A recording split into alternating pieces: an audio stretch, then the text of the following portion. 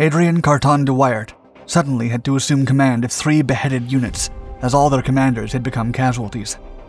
In the middle of the Battle of the Somme in 1916, the lieutenant colonel, with his only eye and one hand, would run from position to position, guiding his men across no man's land to secure victory.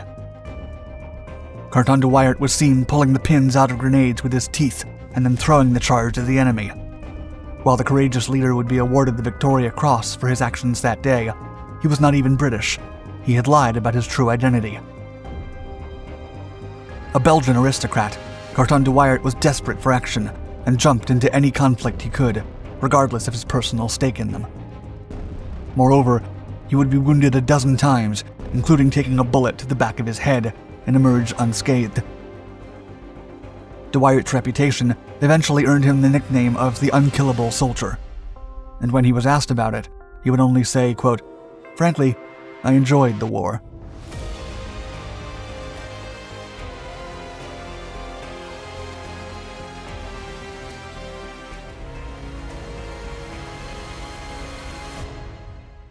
A gentleman pirate.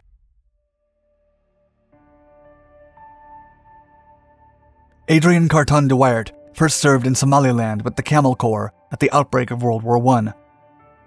The British were waging a low level war against the guerrilla fighters of the dervish leader Mohammed bin Abdullah, or as the British knew him, Mad Mullah.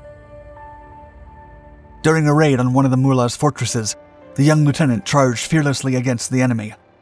As a result, Carton received three gunshots in the face, which cost him an eye and part of his ear.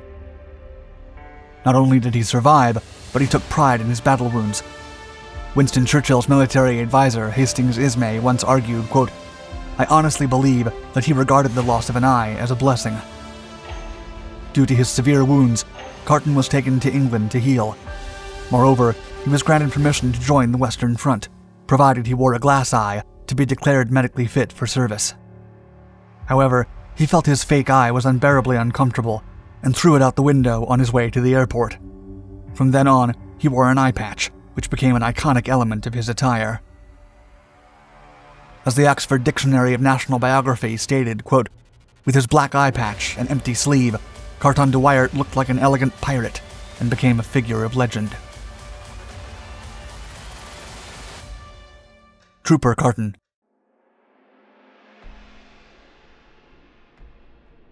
Adrian Paul Ghislain Carton de Wiart was born in Brussels, Belgium in 1880 to an aristocratic family. Although his father was Belgian and his mother Irish, the young man would have strong ties with England as he grew up.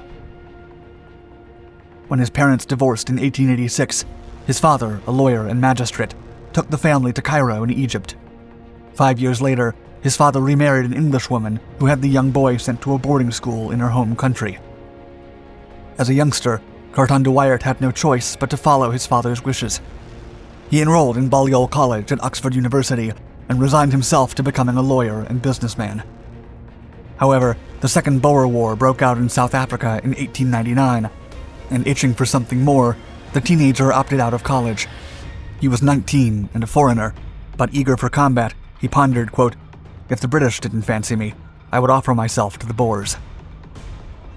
Carton de Wiart pretended to be 25 years old, lied about his nationality, and without his father's consent or even his awareness, joined the British Army under the pseudonym Trooper Carton. The young man had no personal stake in the conflict between Imperial Britain and the local forces of South Africa, but as soon as he heard about the war, he had a clear thought, quote, At that moment, I knew once and for all that war was in my blood. Very good shots.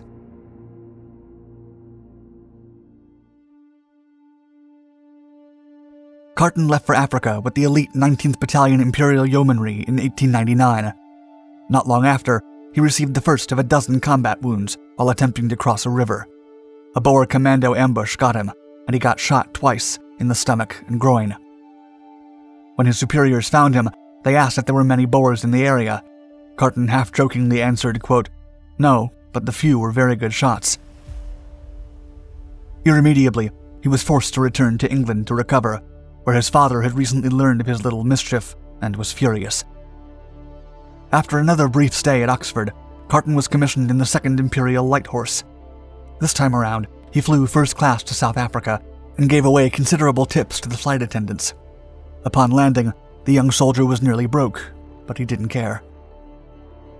The trooper did not take long to be promoted to corporal, but he was soon demoted after threatening to punch a sergeant. And although he eventually became a second lieutenant, Carton saw virtually no combat for the remainder of his service in South Africa, much to his frustration. The young rebel was known to be a gambler and playboy, indulging in drinking, hunting, and socializing. He did not tolerate the boredom of peacetime and jumped at the next opportunity to fight. Carton wished to support the British Imperial forces in Somaliland, but was instead sent to Muttra in India. With no battle to wield, the young soldier created trouble of his own. He passed the time shooting and hunting boars, but he once fell from his horse and the animal fell on top of him, cracking his ribs and ankle. While recuperating, a local laborer annoyed him and Carton shot him in the rear. Carton was immediately put in jail and would not see actual combat for over a decade. Finally, in 1907, he officially took an oath of allegiance to Britain after serving in the army for eight years and was naturalized as a British subject. Chateau General After the outbreak of World War I and the loss of one eye, Carton embarked on a steamer for France, thrilled to participate in the fighting on the Western Front with the 4th Royal Irish Dragoon Guards, a cavalry regiment. There, he would successfully command three infantry battalions and a brigade. During the Second Battle of Ypres in early 1915, Carton was trying to relieve an infantry unit when the Germans launched an artillery barrage, and shell fragments and exploded parts of his wristwatch shattered his left hand. When a doctor refused to remove his remaining fingers, Carton pulled them off at the stump and resumed fighting. However, a surgeon had to amputate what was left of his palm later that year. Still, not only did Carton manage to get medically cleared with only one eye and one hand, but he kept advancing through the ranks. In March of 1916, he became a temporary major and subsequently a temporary lieutenant colonel. During the Battle of the Somme, Carton would tear the pins out of grenades with his teeth and then hurl them at the enemy with his one good hand. Three battalion commanders had become casualties in the fierce battle, but Carton took command of their units and did everything in his power to ensure they kept the land they had already won. Exposing himself frequently, he alone organized the positions and supplies, running through fire barrages and inspiring his men in the process. He was then bestowed with the Victoria Cross for his actions leading the 8th Battalion Gloucestershire Regiment in early July. His citation read, quote, For most conspicuous bravery, coolness, and determination during severe operations of a prolonged nature. It was owing in a great measure to his dauntless courage and inspiring example that a serious reverse was averted. Miracle.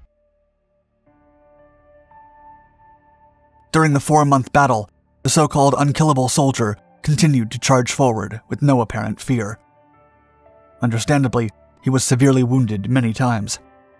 While fighting across the treacherous terrain dubbed the Devil's Wood, a sniper shot him in the back of the head.